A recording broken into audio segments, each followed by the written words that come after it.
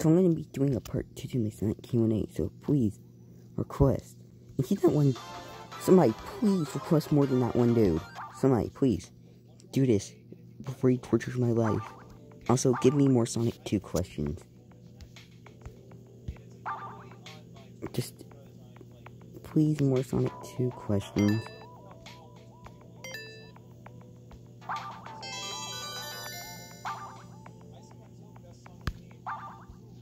It can be about what can characters do.